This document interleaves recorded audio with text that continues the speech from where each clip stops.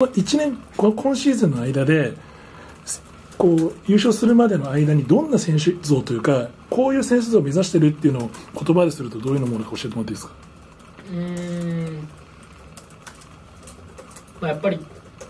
得点面とアシスト面、うん、やっぱり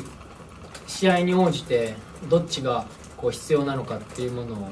しっかりと瞬時に判断して、まあ、チームに勝利にこう直結するような、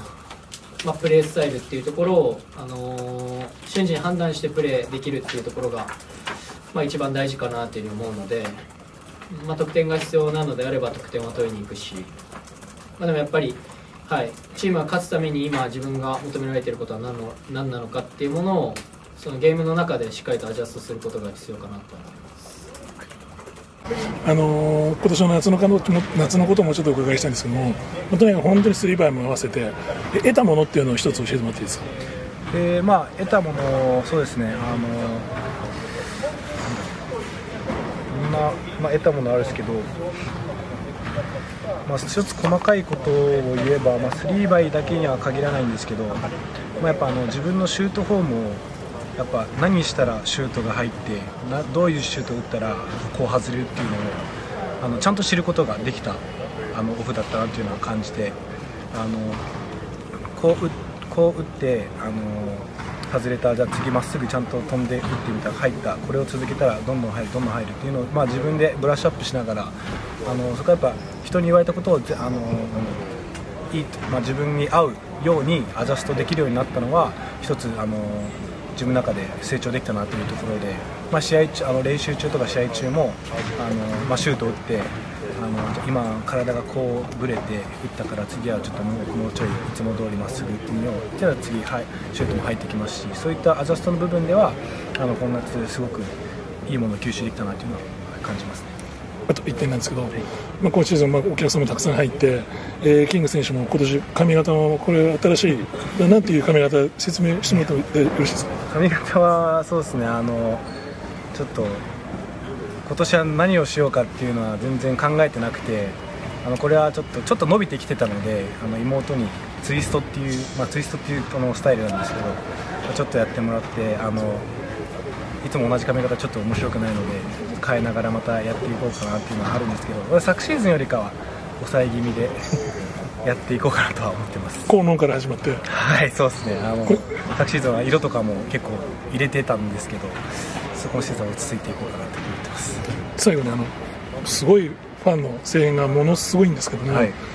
どういうふうにみんなに期待に応えようっていうふうに思ってるって行動してるか教えてもらっていいですか？いやそうですね。やっぱりあのやっぱ勝つことが見に来てる、まあ、応援しているファンにとっての恩返しだと自分たちは思っているのでもちろんすごい声援で後押しにもなりますしまあ、本当今日みたいな試合が毎試合できてたらあのファンの人たちも本当にチャンピオンシップに向かってあの本当にチームとファンと一丸となって向かっていけると思うので本当自分たちにとってはありがたいことですしこの先やっぱファンの皆さんのためにもやっぱ勝っていかなきゃいけないなというのは感じます。お疲れ様です。牧選手に来ていただきました。えーとまずですね今日ですけどなかなかない試合展開でしたけども、はい、あの横浜に来てこの第ゲーム1どうで、はい、どんな感じでした？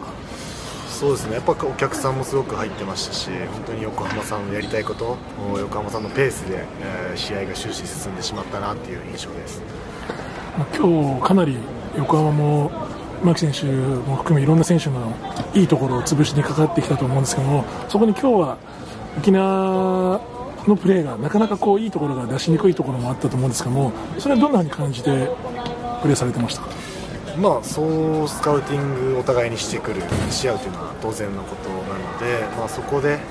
えー、個人として打開する力もそうですしもっとチームとして機能してなかったなっていうのが、まあ、オフェンスではすごく印象的だったんですけどもどちらかというとディフェンスの方で、えー、まんべんなくバランスよく向こうの選手に取られてしまったというところが、まあ、チームとしてリズムが作れなかった一番の要因かなというふうに考えています。今シーズンああいう負け方っていうのはなかなか、まあ、初めてだと思うんですけども牧選手はやっぱこうチームを引っ張る立場としてどういうことをこうシェアしてたっていうことも一つあって教えてもらっていいですか、まあ、正直もう3、4ピリの途中ぐらい試合は決まっていたと思うんですけど、もちろんシーズン60試合もあったら60試合、もちろん勝つことがベストですけど、まあ、そう甘くはない世界なので、まあ、こういってこういった時もありつつ、そういった時こそやっぱ切らさずに、また明日もありますし、もう見に来てくださってるファンの方々もいますし。まあ、その辺はやっぱ情けない姿はキングスとして見せれないなっていう意識を持って最後まで、えー、やろうと思いましたあの数々の試合をこうやってきている牧選手ですけどこういう大差がついた次のにつなげるのにどういうところを大事に取っていこうと思ってますか？やっぱ原点に立ち返ることですかね何か特別なことというよりはほんのシンプルに今日やっぱ岡山さんの選手の方が僕らよりハッスルしていたっていう部分はあったと思うのであその辺受け身にならずシンプルに基本的なディフェンスのプレッシャーだったり走るとかリバウンド頑張るとか、まあ、そういったところが一番大事になってくるかなと。